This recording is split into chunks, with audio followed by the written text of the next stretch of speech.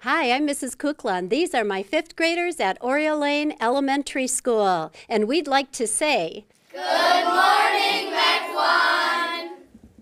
Good morning, class. Good morning, Mequon. Thank you, everybody, for this great Friday morning school shout out. WISN 12 and meteorologist Jeremy Nelson are visiting schools all across the area. Just head over to WISN.com if you are interested in having one of our crews stop by and say hello.